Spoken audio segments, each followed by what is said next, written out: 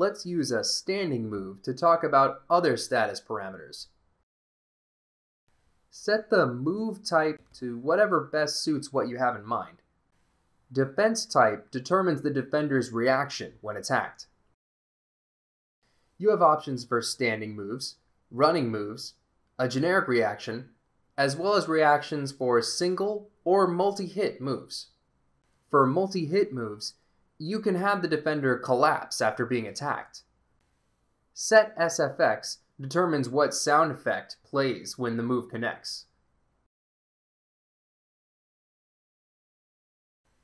For moves that hit and transfer into a grapple, see the grapple data for sound effect settings.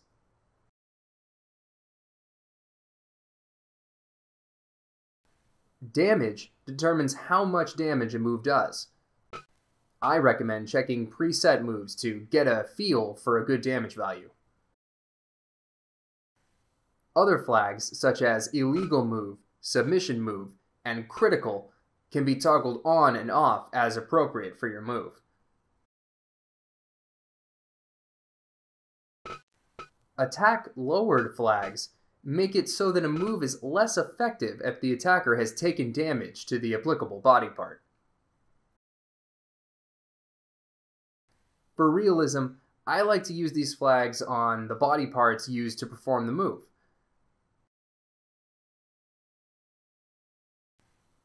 If the move has an active B flag, you can set the amount of self-damage received.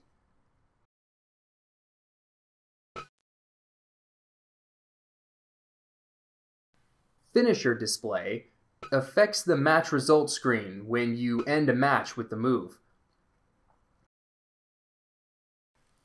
Normally, you should display the move name, but if it's a pin, then update the settings as appropriate.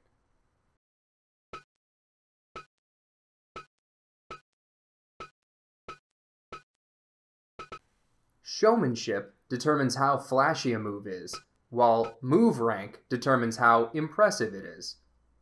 S is the top rank, while E is the bottom rank. Sexual move determines if the attacker and defender's genders affect the move.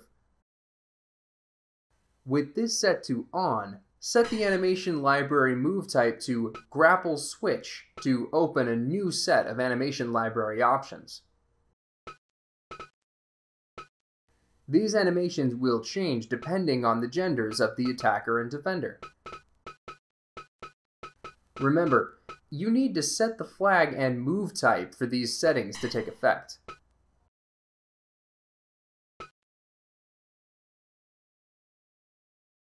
Also, this is only possible with the following move categories.